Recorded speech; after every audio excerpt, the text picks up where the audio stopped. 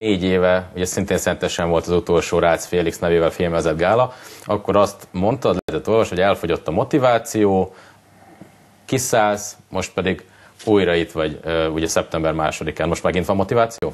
Igen, itt a motiváció mellettem, István, aki, akivel úgy gondoltam, hogy, hogy, hogy elkezdjük tulajdonképpen az együttműködést, illetve, illetve megpróbálom az ő karrierét kicsit egyengetni, és, és legjobb tudásom szerint elvinni őt a, a legmagasabb szintre, úgyhogy remélhetőleg tehát az első lépés az október másodika. Igen, ha szeptembert mondtam volna, akkor elnézést, október másodika. Tehát az október másodika ez egy, ez egy remek alkalom lesz arra, hogy, hogy az István egyrészt bemutatkozzon a magyar közönségnek, mert hogy ő Svájcban vívott öt mérkőzést, és ez lesz tulajdonképpen az első olyan profi mérkőzés, ami, ami otthoni, tehát magyar környezetben van.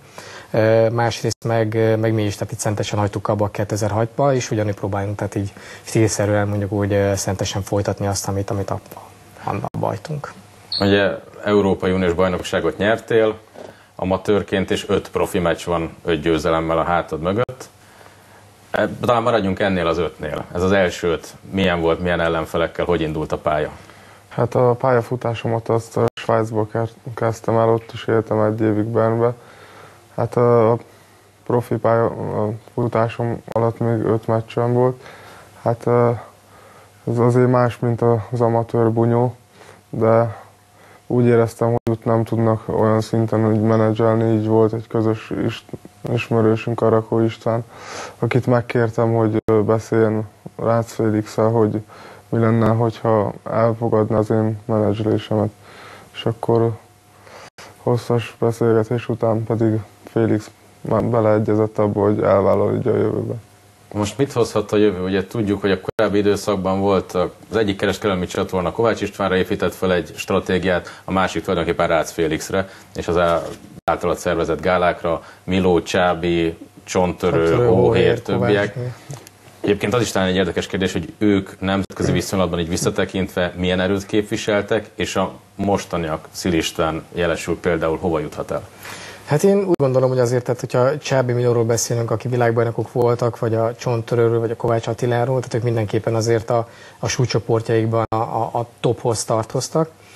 Persze nagyon kevesen tudják, mert hogy mi is, tehát így a kereskedelmi csatorna által robbantunk be a köztudatba, hogy azért volt élet a kereskedelmi csatorna előtt is, és azért 92-ben, amikor édesapámmal elkezdtük meghonosítani, úgymond a profilkörvást Magyarországon, akkor, akkor még igazán nem nagyon foglalkoztak ezzel. Tehát így a különböző orgánumok azért, főleg a helyiek azért szót ejtettek a rendezvényeinkről, vagy a különböző sportolóinkról, de, de azért kellett a csontörőcsákon mérkőzés ahhoz, hogy, hogy a köztudatban tulajdonképpen berobbanjunk, illetve a másik oldalt, mint ahogy említette, tehát így a Kovácsa által filmjelzett gálák azért tehát egy nagyon jó párhuzam volt, és ezáltal tehát volt egy úgymond konkurencia két kereskedelmi csatorna között. Én úgy gondolom, hogy, hogy az István tehát egy, egy nagyon tévékompatibilis stílussal rendelkezik, hogy, hogy így fogalmazzak, tehát abszolút egy, egy látványos ökölvívó, egy látványos ökölvívással bír, és, és biztos vagyok benne, hogy tehát a tévécsatornák amúgy is egyik az sugároz eseményt, hogy, hogy mindenképpen tehát érdekesnek fogják találni az egész gálát. De... Most is van tévés szerződés, hogy azt szokták mondani, hogy profi box nincs televízió nélkül, de nem tartasz attól, hogy ha ez netán nem lesz olyan sikeres, ne adja az ég, mert miért történne így, de mint az előző, akkor a brand Felix Promotion esetleg csorbát szenved? Nem, amúgy ezt, ezt a, feltették, a igen, ezt feltették amúgy többen ezt a kérdést igazán. Úgy gondolom, hogy, hogy semmi okunk a pessimizmusra, hisz a, az, a, az a szakmai ö, tudás az, az nem vészhet el, tehát inkább azt mondom, hogy, hogy raktároztuk, vagy tartósítva lett. Ö, másrészt meg ö, a mostani alanyok, akik, akikkel elkezdünk foglalkozni, akár pökölívás, akár tehát így sportól függetlenül, azok, azok mindannyian, tehát már letettek nem kevest az asztal, és tehát mindenképpen szót említenék akár Szabó Krisztől, aki most már kétszeres Európa bajnok, autocrossos, vagy Babus Tímea, aki Wimbledon, Roland Garros és US Open nyert idén, vagy Benny Balázs. Promotion most már nem csak a körül Így van, így van. Tehát nem hiszem, hogy, hogy, hogy csorbát szenvedne. Persze, tehát így ebben a helyzetben mondhatnám azt is, hogy, hogy sokkal több vesztenivalónk van, mint, mint előtte, de szeretjük a kihívásokat, és úgy gondolom, hogy a, az István egy, egy, egy jó kihívás számunkra. Tehát szakmai. És ő a Spártai, ez lett a becenév. Így van. amit szintén te találtál ki, ha jól Így tudom. van, így van. Mit szólsz, mert ugye sokat mondó, e, nyilván munkabírásra, kitartásra, sok mindenre lehet gondolni. Tetszett az ötlet?